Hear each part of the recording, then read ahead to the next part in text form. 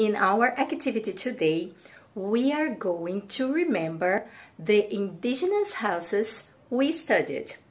Remember this picture? We have two examples here.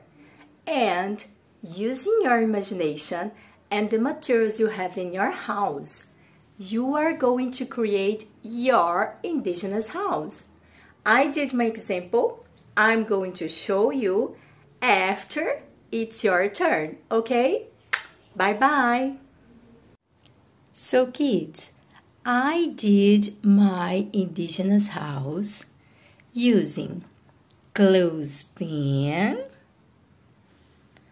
some trees, plastic trees from toys, a chicken.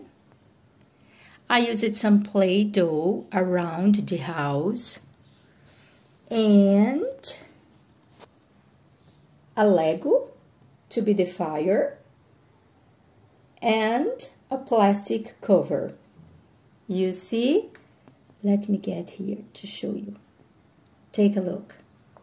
So, this is my indigenous house. And you can create yours using your imagination and the materials you have in your house. Okay?